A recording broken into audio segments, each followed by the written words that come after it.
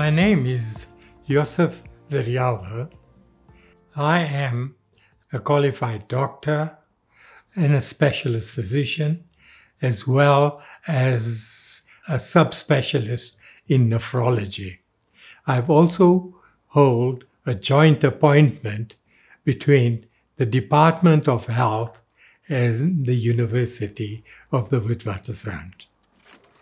Getting into WITS felt that we're going into a very liberal university. However, there were places that we couldn't even use. For instance, the swimming pool. We were not allowed to go into the swimming pool. The sports facilities were not available to us. So all the social events that were occurring, whether that was uh, the debutantes ball or whatever, we were not allowed.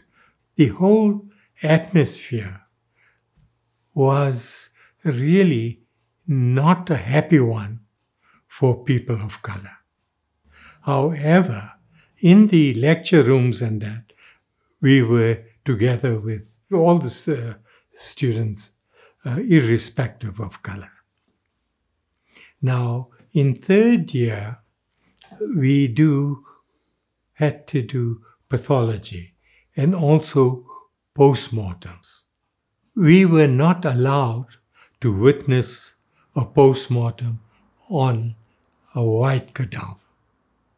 We resented these racist apartheid policies that were being imposed on us. At the same time, we were proud that we were at Wits doing medicine. So it's a duality there. Fourth year onwards, fourth, fifth, and sixth year, these were clinical years. And the clinical years were significantly spent at each of our academic or teaching hospitals. People of color or students of color were restricted to the what they called non-European hospitals. Our teaching at these hospitals was, I believe, excellent because a lot of patients that were there, there was there were many many patients, and these patients were first of all very cooperative and also, uh, there were a wide variety of medical problems that we gained our knowledge from. After having completed medical training, I first went on to Chris Hani uh, Hospital, which was Baragwanath Hospital, and I did six months of pediatrics there at Baragwanath Hospital. I then came back to Coronation and was given a senior houseman or senior internship post, and uh, my monthly salary was half that of my white colleagues who also were interns. We had the same training, but there was salary discrimination. After having completed that, I became a medical registrar.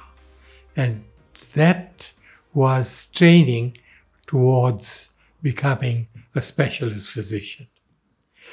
And during the, my period as a registrar, we also did a lot of teaching of medical students.